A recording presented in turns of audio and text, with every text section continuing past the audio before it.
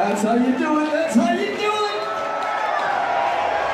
Does anybody out there feel anybody got the time?